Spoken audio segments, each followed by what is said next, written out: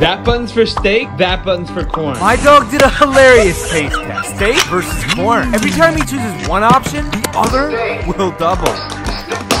He beat the steak button. Corn. Augie chose corn. Then he gave me a mean side eye. For the final round, he chose steak again. If you think Augie liked his treats, subscribe!